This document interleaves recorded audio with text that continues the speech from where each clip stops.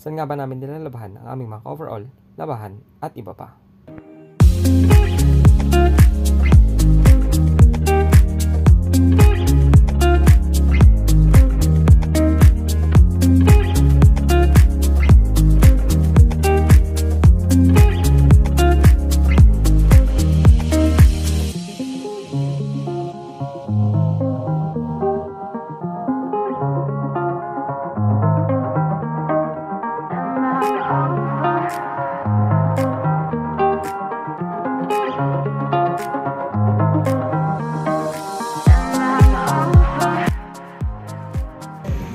Yan mga ka-NDY. So sa galing wala dun si Chief Cook o si Mayor.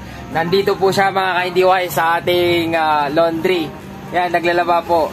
Ah, siya po ang aming fourth engineer. Yan. Hello to the vlog! Yan, Happy New Year daw.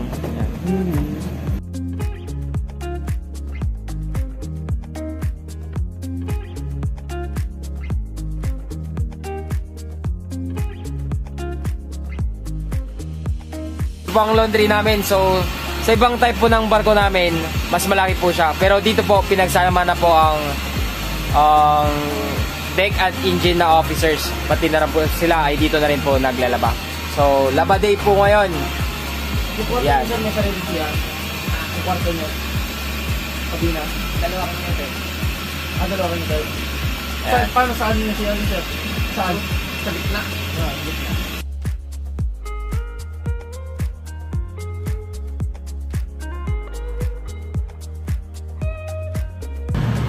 So yun na nga guys, after ng nakakapagod na araw, so as always, kailangan nating maglaba para hindi tayo mabusan ng damit at ng coverall.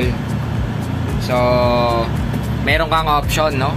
Kung gusto mong maglaba gamit ang washing machine, and then ida dryer mo, or manumatic sa shower ka or sa sa kabina mo ba, sa balde-balde, o kaya sa lababo.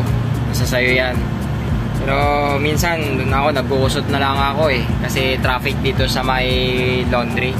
So dito sa barko namin, halos kara- karamihan, meron tayong mga dryer no. So sa Pilipinas to mahal. Magamit ng kuryente. Pero dito sa barko, libre kasi meron naman tayong apat na generator. Generator. So ganito po kalaki ang kanilang generator no. Yan.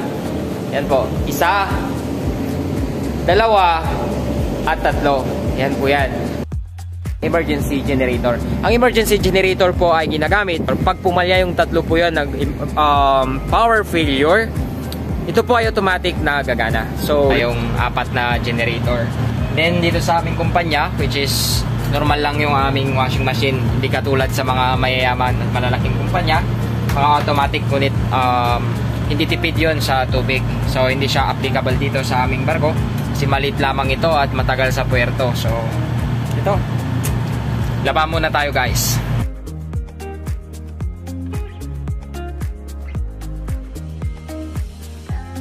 So kung nagtatanong ka sa sarili mo kung ano nga bang sabon ang gamit namin dito sa barko para hindi delikado sa ating kalikasan at mga lamang dagat, papakita ko sa inyo ha, kuha tayo. Ito, sa ibang kumpanya tinitipid sila sa sabon. Kami naman dito, karto-karto ng sabon namin. Pwede kahit isang plastic sa isang labahan. Ito, kanan Fuka. Ang kwan namin ay Fuka, no? So, tignan natin. Ang sabong ito ay Fuka, no? So, ito ay post ito phosphate free. So, meron din siyang konting epekto sa kalikasan natin, pero hindi gaano. So, maganda. Mabula siya. Yung iba naman na mga kasama natin ay gumagamit ng pampabango sa damit. So, Fabcon, sabi nila, no? Fabric conditioner. So, dito naman meron tayong Fabcon.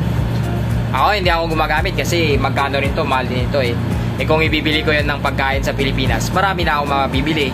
So, kanya-kanyang diskarte lang naman yan eh. Hindi ka naman pupunta sa bukid para magpawis masyado, maputikan. So, ayos naman. Kahit di mo nalagyan ng Fabcon, okay lang. So, ganito sa barko, no? Hindi katulad sa lupa na kung ayaw mo maglaba, pwede. Pero dito sa barko, kailangan mong maglaba kasi maubusan ka ng damit. So, payo ko lamang sa mga kadete dyan o mga bagong sasampa na kailangan mo talaga ng time management ba? Kailangan mong ayusin ang oras mo para hindi ka mahirapan. Kasi marami talaga. Tulad ko, nung una kong sampa, nahirapan ako sa time management. Ito mahirap, pero dito tayo kumikita. Ito ang ating kabuhayan. So, sabi nga nila, walang mahirap daw na trabaho. Lahat pare-parehas lang naman. Being uh, thankful tayo kasi binigyan tayo ng trabaho ganito.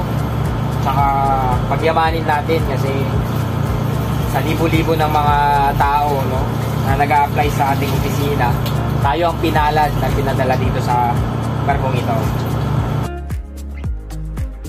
Kadalasang sakit or nangyayari sa uh, laundry ng barko ay yung pagkasira ng mga gamit dito, lalo ng mga washing machine. Bakit nga ba?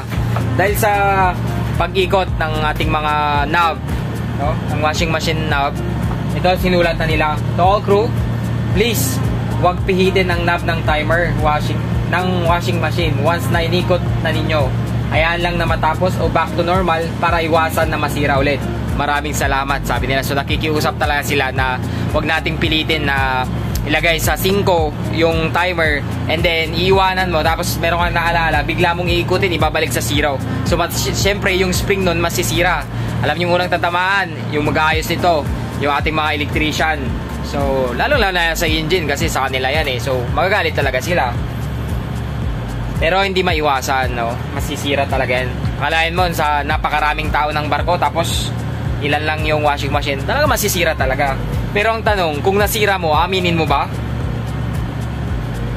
Siyempre, sigurado. Nasa sayo ang sagot kung aminin mo, di ba? Kung aminin mo, papagalitan ka naman. Kung hindi mo naman aaminin, uh, mapagbibindahan yung iba. So, ewan ko. So, yun. Tapos na. So, akit na tayo, no? Hindi ko na siya i-dryer kasi sabi nila lumilit daw yung uniform or yung overall pag dryer so sabit ko na lang ito dun sa kabina kasi hindi naman tutuloy na-spin ko naman na tapos na tayo maglaba so secured na natin yan so tara akit na tayo